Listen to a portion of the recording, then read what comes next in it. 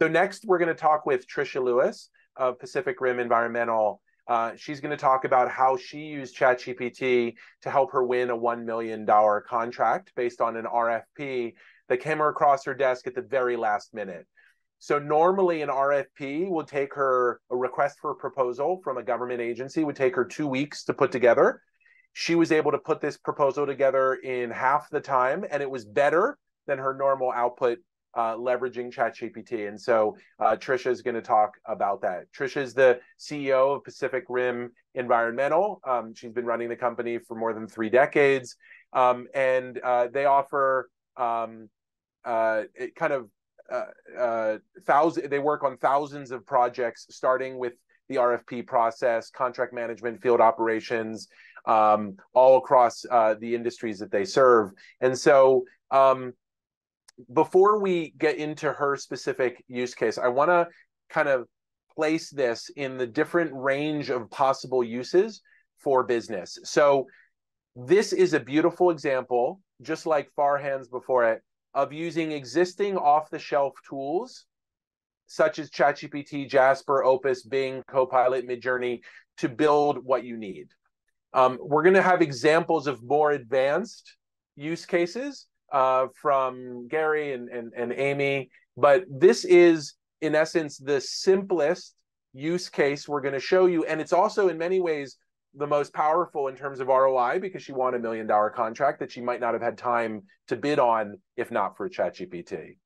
So um, uh, over to you, Tricia. Hello, everyone. Uh, thank you for having me here today. I appreciate it.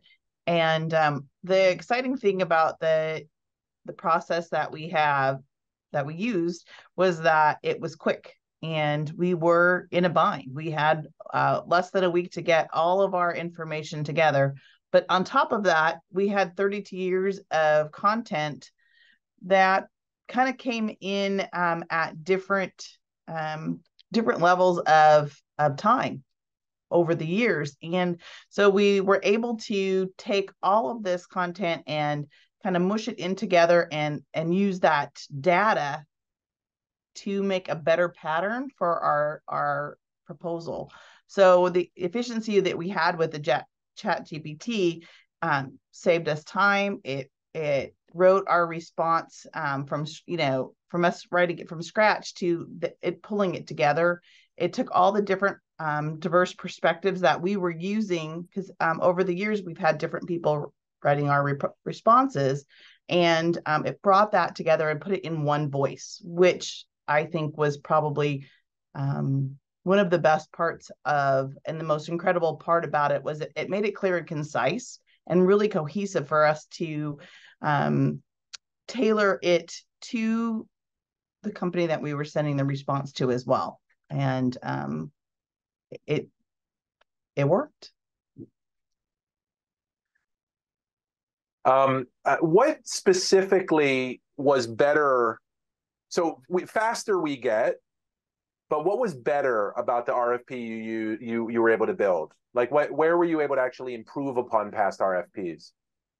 Yeah, so um, I think it just kind of took the language that we had and um, pulled it pulled it together and oh, how do I explain this? Um, it tailored it to fit the client. So we used our words that we had and pieces of the RFP, and that was our prompt.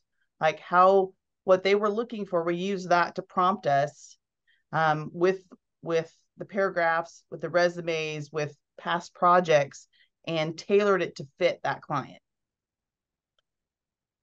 Perfect. And um, if you were you know, there are other people on this call today that work it, within the government space that are responding to RFPs.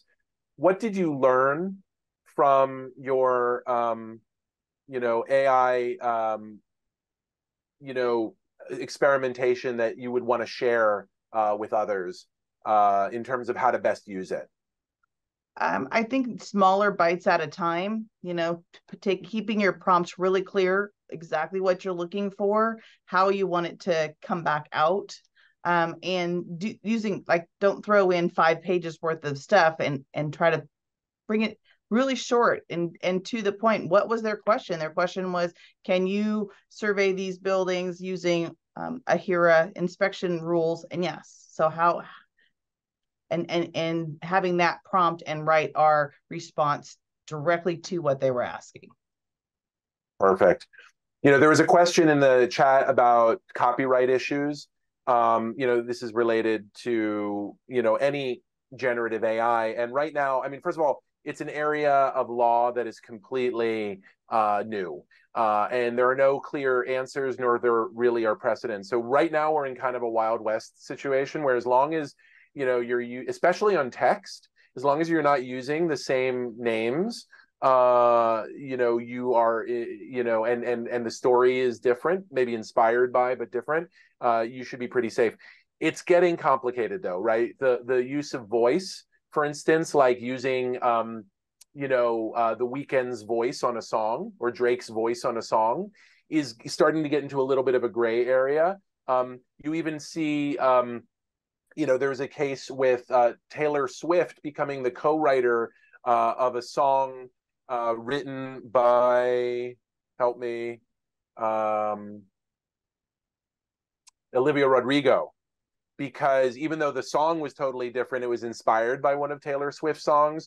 So that's a really interesting example where um, you know copyright gets a little messy, especially when it comes to singing and songwriting. So I, I do not want to tell you that uh, you're free and clear to use this. It's just not clear. You definitely should have, if you're not sure, a lawyer, uh, you know, in your uh, corner uh, guiding you. But uh, for most of us small businesses who don't have a full-time legal team, um, you know, in most cases uh, of generative AI, uh, with like Chat GPT, you're generally free and clear. I think it starts to get a little bit grayer when you start to use images, uh, when you start to use uh, video, and especially when you start to um, use video or images or, or voices that are uh, based off of real people. But look, Sarah Silverman has sued um, you know, about the creation of jokes that are in her voice uh, through ChatGPT. Um, we have examples of, uh, uh, you know, Getty Images has sued over the use of their images in the training material. Um, the strike right now by actors and, and writers is largely around or in part around uh, the risk that AI poses to their livelihood. So just uh, the bottom line is as a small business you need to tread carefully pay attention keep up to date uh, lawyer things when necessary and just recognize that there is a risk associated with doing this kind of thing thank you so much tricia uh, for your case study uh, and for your inspiring example um, i'm going to be closing the poll here momentarily so guys if you haven't yet uh, responded to the ai and you please do and then uh, i'm going to then bring up uh, our next uh, amazing presenter, Amy Wenslow. So stand by, Amy.